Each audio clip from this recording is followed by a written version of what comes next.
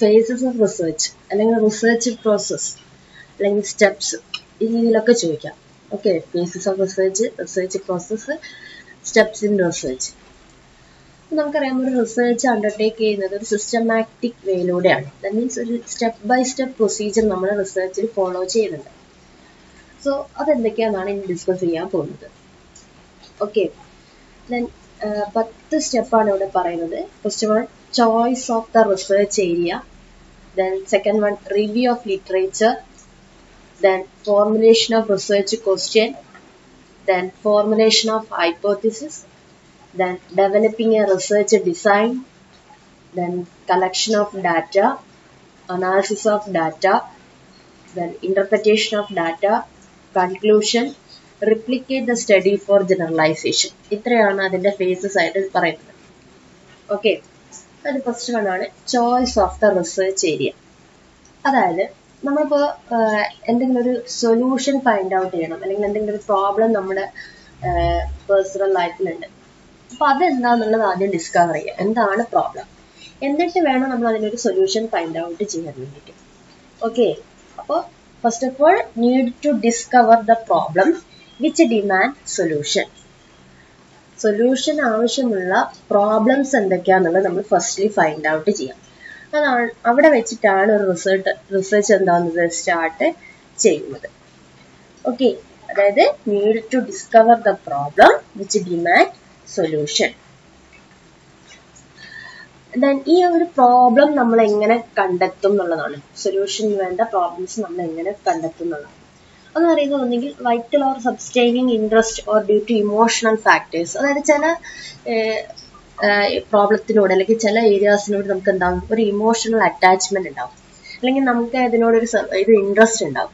അപ്പൊ അങ്ങനെ ഏതെങ്കിലും ഒരു ഇൻട്രസ്റ്റ് ഉള്ള ഫീൽഡ് ഉണ്ടെങ്കിൽ അത് നമ്മൾ ചൂസ് ചെയ്യാം. ഓക്കെ പ്രോബ്ലം അറൈസ് ചെയ്യുന്ന ഏതെങ്കിലും ഇൻട്രസ്റ്റഡ് ആയിട്ടുള്ള ഏരിയാസ് ഉണ്ടെങ്കിൽ വി നീഡ് സൊല്യൂഷൻ അങ്ങനെയുള്ള ഏതെങ്കിലും ഏരിയാസ് ഉണ്ടെങ്കിൽ അത് നമ്മൾ സെലക്ട് ചെയ്യാം.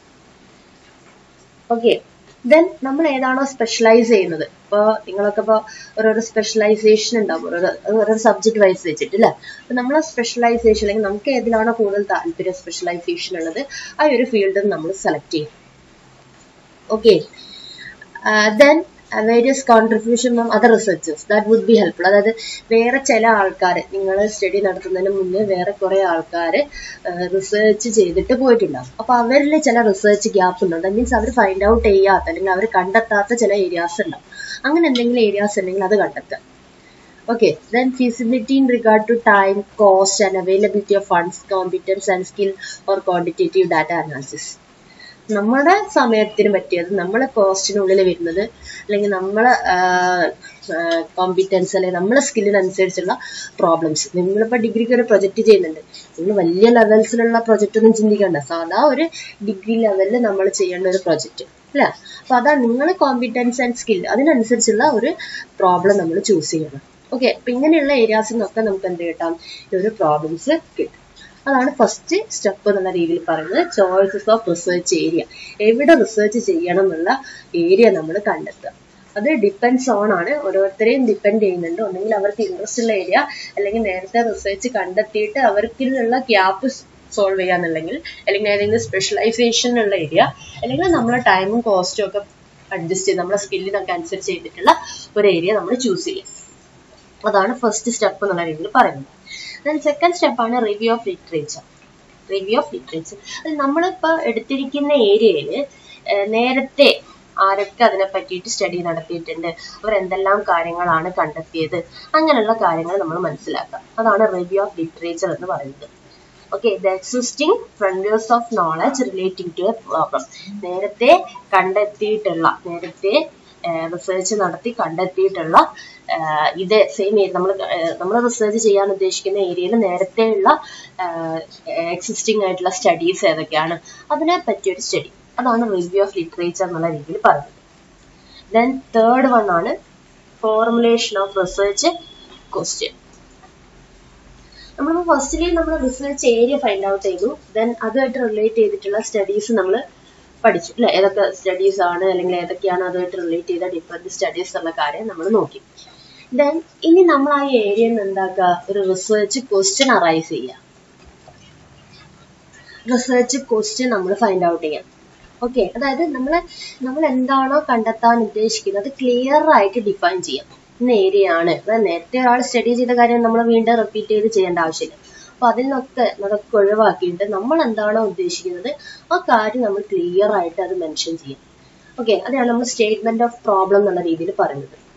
നമ്മൾ സ്പെസിഫിക് ആകാം കുറേ കൂടി നമ്മൾ ആ ഏരിയയിലേക്ക് വരിക. ദെൻ നമ്മൾ ആ പ്രോബ്ലം എന്ന് പറയുന്നത് ക്ലിയർ ആയിരിക്കണം. ദെൻ മറ്റുള്ളവർക്ക് കൺസൈസ് ആയിരിക്കണം. ദെൻ എന്താണോ നമ്മൾ ഉദ്ദേശിക്കുന്ന പ്രോബ്ലം സ്റ്റേറ്റ്മെന്റ് അത് ക്ലിയർ ആയിട്ട് പ്രിസൈസ് ആയിട്ട് നമ്മൾ മെൻഷൻ ചെയ്യണം. ഓക്കെ ദെൻ ഈ ഒരു സ്റ്റേറ്റ്മെന്റ് അല്ലെങ്കിൽ ആ ഒരു സ്റ്റേറ്റ്മെന്റിന്റെ അടിസ്ഥാനത്തിലായിരിക്കും. നമുക്ക് ആ ഒരു ടോപ്പിക് കണ്ടാൽ തന്നെ അറിയണം. അല്ലെങ്കിൽ നമ്മൾ ഈ ഒരു റിസർച്ച് സോറി സ്റ്റേറ്റ്മെന്റ് ഓഫ് പ്രോബ്ലത്തിനാണ് ടോപ്പിക് ഓഫ് റിസർച്ച് എന്നുള്ള രീതിയിൽ പറയുന്നത്. ഓക്കെ നമ്മൾ എന്താണ് കണ്ടെത്തുക അല്ലെങ്കിൽ നമ്മൾ എന്താണ് ഈ ഒരു റിസർച്ച് ഉദ്ദേശിക്കുന്നത്? ആ ഒരു കാര്യം നമുക്ക് ആ ഒരു ടോപ്പിക്കിലൂടെ മനസ്സിലാക്കാൻ പറ്റണം. ഓക്കെ അതേപോലെ തന്നെ ക്ലിയർ ആയിരിക്കണം. വാരി വലിച്ചൊന്നും ടോപ്പിക് ചെയ്തരുത് ഷുഡ് ബി പ്രിസൈസ് ആയിരിക്കണം. ആ രീതിയിലായിരിക്കണം നമ്മൾ സ്റ്റേറ്റ്മെന്റ് ഓഫ് പ്രോബ്ലം ഫോർമുലേറ്റ് ചെയ്യേണ്ടത്. ദെൻ ഫോർത്ത് സ്റ്റെപ്പാണ് ഫോർമുലേഷൻ ഓഫ് ഹൈപ്പോത്തിസിസ് ഹൈപ്പോത്തിസിസ് നമ്മൾ അസംഷൻ ടെന്റേറ്റീവ് അസംഷൻ ആണ്. അല്ലെങ്കിൽ it is a solution to a problem അതിനാണ് നമ്മൾ ഹൈപ്പോത്തിസിസ് എന്നുള്ള രീതിയിൽ പറയുന്നത്. ഓക്കെ അസംഷൻസ് നമ്മൾ സ്റ്റഡി ഇപ്പൊ നമ്മളിപ്പോ ഒരു സ്റ്റഡി നടത്താൻ ഉദ്ദേശിക്കുന്നത് വെച്ചാൽ ഈ സ്മോക്കേഴ്സും ക്യാൻസറുമാണ്. സ്മോക്കേഴ്സിന് എത്രത്തോളം ക്യാൻസർ എന്ന് പറയുന്ന ഡിസീസ് ഉണ്ടാവുന്നുണ്ട്. അതാണ് നമ്മൾ ഉദ്ദേശിക്കുന്ന study the effect of smoking അല്ലെങ്കിൽ the effect of smoking on health അതാണ് നമ്മൾ സ്റ്റഡി ചെയ്യാൻ ഉദ്ദേശിക്കുന്നത്. എസ്പെഷ്യലി ക്യാൻസർ ക്യാൻസർ ഡിസീസ് അപ്പൊ നമ്മൾ ഹൈപ്പോത്തിസിസ് എന്താ? ഒരു ഹൈപ്പോത്തിസിസ് ഞാൻ ഇപ്പൊ പറയാണ്. There is a significant relationship between smoking and cancer cancer disease അതായത് ക്യാൻസർ ഡിസീസും അതേപോലെ സ്മോക്കിങ്ങും തമ്മിലൊരു റിലേഷൻഷിപ്പ് ഉണ്ട്. അതായത് സ്മോക്കിംഗ് എന്തിലേക്ക് ലീഡ് ചെയ്യുന്നു? ക്യാൻസറിലേക്ക് ലീഡ് ചെയ്യുന്നു. അപ്പൊ അങ്ങനെ ഒരു അസംഷൻ ഞാൻ അവിടെ പറയാണ്. ദെൻ എന്റെ ആ സ്റ്റഡി നടത്തുന്നത് എന്തിനാണ്? അല്ലെങ്കിൽ ആ സ്റ്റഡി ബാക്കിയുള്ള സ്റ്റഡിയുടെ സ്റ്റെപ്സുകളൊക്കെ എന്തിനു വേണ്ടിയിട്ടായിരിക്കും? ഈ ഒരു അസംഷൻ പ്രൂവ് ചെയ്യിക്കുക അല്ലെങ്കിൽ അത് ഡിസപ്രൂവ് ദാറ്റ് മീൻസ് ഒന്നെങ്കിൽ അത് കറക്റ്റ് ആയിരിക്കും അല്ലെങ്കിൽ അത് ഡിസ്കറക്റ്റ് ആയിരിക്കും. നമ്മൾ ആ ഒരു സ്റ്റേറ്റ്മെന്റിന് അല്ലെ നമ്മൾ ഡെവലപ്പ് ചെയ്ത ആ ഒരു ഹൈപ്പോതിസിന് അല്ലെങ്കിൽ ആ ഒരു അസംഷന് പ്രൂവ് ചെയ്യിക്കാൻ വേണ്ടിയിട്ടായിരിക്കും നമ്മൾ സ്റ്റഡി നടത്തുന്നത്. ഓക്കെ അപ്പോൾ the focal point of research upwards will be directed towards hypothesis ഹൈപ്പോതിസിസിലേക്കാണ് പോകുന്നത്. ഓക്കെ ഇവിടെ നമ്മൾ നൾ ഹൈപ്പോത്തിസിസും ഓൾട്ടർനേറ്റീവ് ഹൈപ്പോത്തിസിസും എന്നൊക്കെ പറഞ്ഞിട്ട് പഠിക്കാറുണ്ട്. അത് നമുക്ക് ഹൈപ്പോത്തിസിസ് എന്ന് പറഞ്ഞ ഏരിയയിൽ ഡീറ്റെയിൽ ആയിട്ട് പഠിക്കാം. അപ്പം വാട്ട് ഈസ് ഹൈപ്പോത്തിസിസ് എന്ന് വെച്ചാൽ it is a tentative assumption of the problem എന്നുള്ളത് ഓർപ്പിക്കുക tentative assumption of the problem അതായത് നമ്മൾ ആ ഒരു പ്രോബ്ലത്തിൽ നിന്നും നമ്മൾ ആ ഒരു സ്റ്റേറ്റ്മെന്റ് ഓഫ് പ്രോബ്ലത്തിൽ നിന്നും നമ്മൾ ഉണ്ടാക്കിയെടുക്കുന്ന അല്ലെങ്കിൽ നമ്മൾ അതിൽ നിന്നും ഡെവലപ്പ് ചെയ്തെടുക്കുന്ന അസംഷൻസിനെയാണ് എന്ത് പറയുന്നത്? ഹൈപ്പോത്തിസിസ് എന്ന് പറയുന്നത്. ഈ ഒരു ഹൈപ്പോത്തിസിസിന്റെ അടിസ്ഥാനത്തിലാണ് നമ്മൾ ആ സ്റ്റഡി മുന്നോട്ട് പോകുന്നത്. ദെൻ നെക്സ്റ്റ് സ്റ്റെപ്പ് അഞ്ചാമത്തെ സ്റ്റെപ്പാണ് developing a research design developing a research design നമ്മൾ ഹൈപ്പോത്തിസിസ് ഫോം ചെയ്ത് കഴിഞ്ഞാൽ നമ്മൾ ആ ഒരു ഹൈപ്പോത്തിസിസ് ടെസ്റ്റ് ചെയ്യണം. അല്ലെ? ഹൈപ്പോത്തിസിസ് ടെസ്റ്റിംഗ് ഉണ്ട്. അതായത് നമ്മൾ കണ്ട നമ്മൾ സെറ്റ് ചെയ്ത ഹൈപ്പോത്തിസിസ് നമ്മൾ അസംഷൻ നമ്മൾ ഒന്നെങ്കിൽ അത് ശരിയാണ് അല്ലെങ്കിൽ അത് തെറ്റാണ് എന്നുള്ളത് പ്രൂവ് ചെയ്യണം. ത്രൂ എ ടെസ്റ്റ് അപ്പോൾ ഇങ്ങനെയുള്ള ഒരു എംപിരിക്കൽ ടെസ്റ്റ് ഒക്കെ നമ്മൾ കണ്ടക്ട് ചെയ്യണം. അപ്പൊ അതിന് വേണ്ടിയിട്ട് നമുക്ക് അതുമായിട്ട് റിലേറ്റ് ചെയ്തിട്ടുള്ള ഡാറ്റ കാര്യങ്ങളൊക്കെ എന്താക്കണം? കളക്ട് ചെയ്യണം. അതാണ് ഇവിടെ റിസർച്ച് ഡിസൈൻ എന്നുള്ള രീതിയിൽ പറയുന്നത്. ഓക്കെ ഈ റിസർച്ച് ഡിസൈൻ തന്നെ പല നെയിമിലും പറയുന്നുണ്ട്. Research outline research plan blueprint ഇതൊക്കെ റിസർച്ച് ഡിസൈനിന്റെ അതർ നെയിംസ് ആണ്. Okay research outline research plan blueprint of research ഇതൊക്കെയാണ് നമ്മൾ റിസർച്ച് ഡിസൈൻ കൊണ്ട് ഉദ്ദേശിക്കുന്നത്. അപ്പൊ എന്താ റിസർച്ച് ഡിസൈൻ എന്ന് വെച്ചാൽ it is the plan or structure and strategy of investigation design to obtain answers to your research question നമ്മൾ നേരത്തെ ഒരു റിസർച്ച് ക്വസ്റ്റ്യൻ റൈസ് ചെയ്തിട്ടുണ്ട്. അതിൽ നിന്നൊരു കുറച്ച് അസംഷൻസും കാര്യങ്ങളൊക്കെ ഉണ്ടാക്കിയിട്ടുണ്ട്. അപ്പൊ അത് സോൾവ് ചെയ്യാൻ വേണ്ടിയിട്ട് എങ്ങനെ ത്രൂ ആൻ ഇൻവെസ്റ്റിഗേഷൻ എങ്ങനെയുള്ള പ്ലാൻഡ് ആയിട്ടുള്ള ഒരു സ്ട്രക്ചർ ആയിട്ടുള്ള ഒരു സ്ട്രാറ്റജിക്കൽ ആയിട്ടുള്ള ഒരു ഇൻവെസ്റ്റിഗേഷനിലൂടെ നമ്മളെ റിസർച്ച് ക്വസ്റ്റ്യൻസിന് ആൻസേഴ്സ് കണ്ടെത്താം അതാണ് ഈ ഒരു റിസർച്ച് ഡിസൈന്റെ അടിസ്ഥാനം എന്ന് പറയുന്നത്. So Fred and Kerlinger definition ആണ്. It is the Fred and Kerlinger എന്താ പറഞ്ഞിരിക്കുന്നത്? It is the plan structure and strategy of investigation designed to obtain answers to research question okay it is the plan structure and strategy of investigation designed to obtain answers to research question. അതിനാണ് നമ്മൾ എന്ത് പറയുന്നത്? Research design എന്നുള്ള രീതിയിൽ പറയുന്നത് അല്ലെ? അപ്പൊ അതൊരു പ്ലാൻ ആണ് സ്ട്രക്ചർ ആണ് സ്ട്രാറ്റജി ആണ് എന്നുള്ളതൊക്കെ ഓർത്ത് വയ്ക്കുക. ഈ ഒരു റിസർച്ച് ഡിസൈനിൽ അതിന്റെ കമ്പോണൻസ് എന്നുള്ള രീതിയിൽ അല്ലെങ്കിൽ അതിന്റെ ടൈപ്സ് എന്നുള്ള രീതിയിൽ നമുക്ക് sampling design data collection design instrument design ഇത്രയും കാര്യങ്ങളാണ് പഠിക്കേണ്ടത് നമ്മൾ ഡീറ്റെയിൽ ആയിട്ട് പഠിക്കും sampling design then data collection design instrument design sampling design എന്ന് വെച്ചാൽ നമ്മൾ നമ്മൾ സ്റ്റേറ്റ് ചെയ്ത പ്രോബ്ലത്തിൽ അതിന്റെ അടിസ്ഥാനമായിട്ടുള്ള അല്ലെങ്കിൽ അതിന്റെ ബേസിക് ആയിട്ടുള്ള ചില ആളുകളുണ്ട്. അപ്പൊ നേരത്തെ പറഞ്ഞ കേസിൽ smoking person and cancer disease അതിന്റെ നമ്മൾ എടുക്കുന്നത് ആരാണ്? സ്മോക്കിംഗ് പേഴ്സണെയാണ് അവരാണ് നമ്മൾ സാമ്പിൾ എന്നുള്ള രീതിയിൽ പറയാം.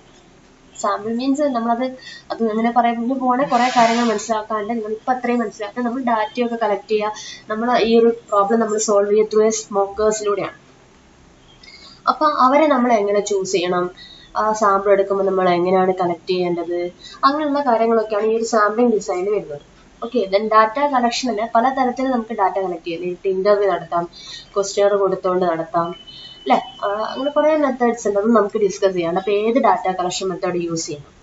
ദെൻ ഏത് ഇൻസ്ട്രുമെന്റ് അതായത് ക്വസ്റ്റ്യർ വേണോ? അല്ലെങ്കിൽ ഷെഡ്യൂൾ വെൽ സ്ട്രക്ചേർഡ് ആയിട്ടുള്ള ഷെഡ്യൂൾ വേണോ? അല്ല ഒബ്സർവ് ഒബ്സർവേഷൻ വേണം? അപ്പൊ ഏത് രീതിയിലൂടെ നമ്മൾ ഒരു ഇൻഫർമേഷൻ കളക്ട് ചെയ്യണം? അങ്ങനെയുള്ള കാര്യങ്ങളാണ് ഈ ഒരു റിസർച്ച് ഡിസൈനിൽ ഫോക്കസ് ചെയ്യുന്നത്. So research design include sampling design data collection design and instrument design